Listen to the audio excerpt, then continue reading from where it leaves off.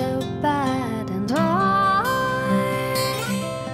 want to thank you for giving me the best day of my life.